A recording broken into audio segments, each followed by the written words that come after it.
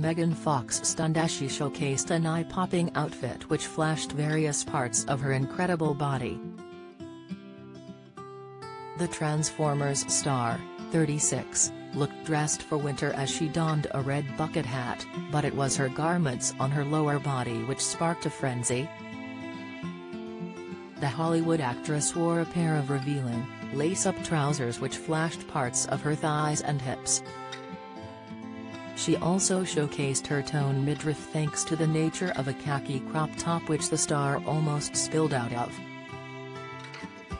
Megan smiled in the snaps, which she captioned in view of her 20 million followers, Guys you don't understand it's just like, really hard when the only thing anyone ever notices about you is how smart you are.